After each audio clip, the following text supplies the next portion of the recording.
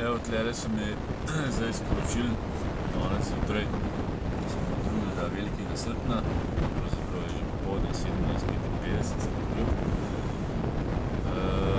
Prijavljajo me pač lažnivi, lažnivi kljubci in zdaj boste videli, da Facebook cenzurira svetopism in preroka doktorja Urija. Pač so se zlagali, da kršim standarde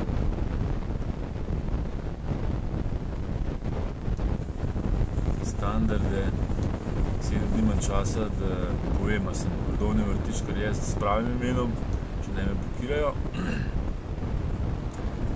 29. junija so vrgli dol od Uroša Bukovca osebni filmček, ki je bil pri doktorju Urju.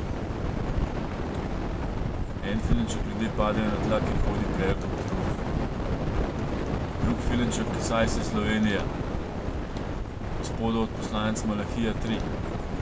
In pa pastor Uroš Bukovec povabil preroka doktorja Urja v Slovenijo. Vse to so blokirali in to je dokaz, da Facebook cenzurira kristjane in preroka Urja. To, da boste vedeli. Ja? Tle imam še nekaj. Skratka, Facebook je napada resnico.